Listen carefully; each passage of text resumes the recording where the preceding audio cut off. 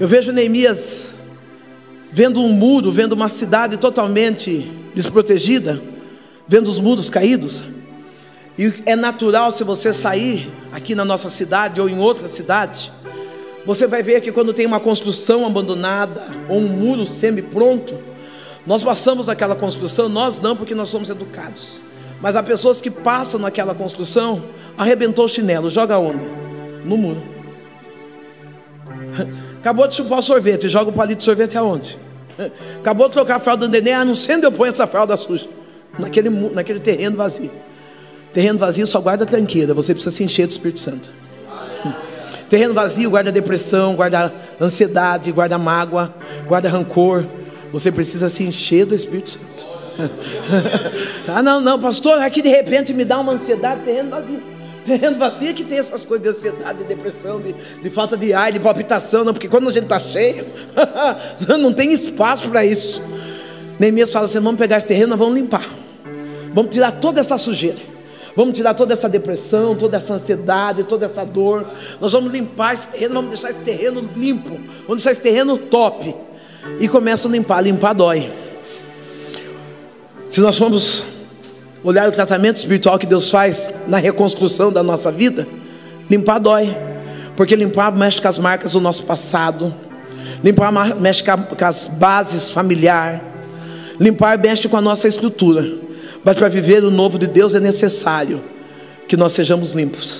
Para recomeçar, reconstruir, é necessário que nós sejamos limpos.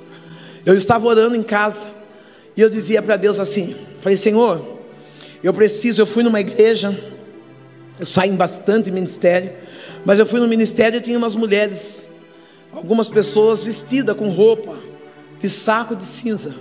E um movimento estava aquela igreja, aí uma glória descendo. E eu falei, Deus, é nessa igreja que eu vou ficar. Está decidido, eu não vou nem olhar se eu vou gastar combustível ou não. Porque eu quero uma igreja assim, com essa cobertura. Porque estava um manto ali. E eu falei, eu quero uma igreja assim. E quando eu cheguei em casa, Deus falou para mim assim: quando Neemias foi reconstruir o muro, não tinha cobertura nenhuma, tinha alicerce. Para de ficar andando atrás do movimento, tem alicerce. Cobertura, se não tiver alicerce, não segura. Quantas das vezes a gente muda de lugar, muda de ministério, muda de igreja, dizendo, não, porque lá o reteté é maior, porque lá tem profeta, não, lá porque lá sapateia. Mas qual é o alicerce? Qual é o alicerce? E ali eu me aquietei. Neemias começa a limpar. Neemias, juntamente com seus amigos, começam a trabalhar. De primeiro eu dizia que Neemias tirou tudo que era quebrado. Mas aí eu estou pregando aqui. Eu queria pedir para aquela moça ficar de pé um pouquinho. Tá, eu sei que de, de trás é a tia da Jéssica que está na frente. É. Quando Neemias começa a limpar aqueles muros, começa a tirar a sujeira daquele terreno. Neemias tem alguns tijolos que eles não tiram, porque tem alguns tijolos que muitas das vezes está quebrado pela metade. O moço erguendo a mão, está abaixando, está fazendo um monte de coisa. Gente, olhe para ele lá. Às vezes o, tijolo, ele está cortado pela metade.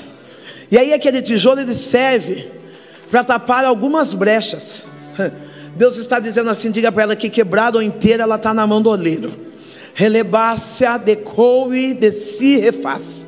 Enquanto você está aqui, você sabe os pedaços que tu tem passado.